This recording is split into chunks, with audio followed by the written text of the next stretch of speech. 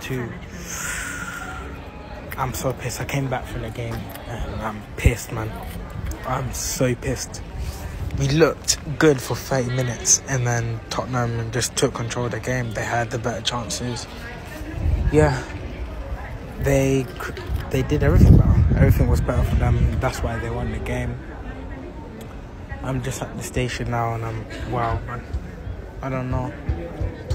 Antony should have scored straight after I think Tottenham scored. We hit post.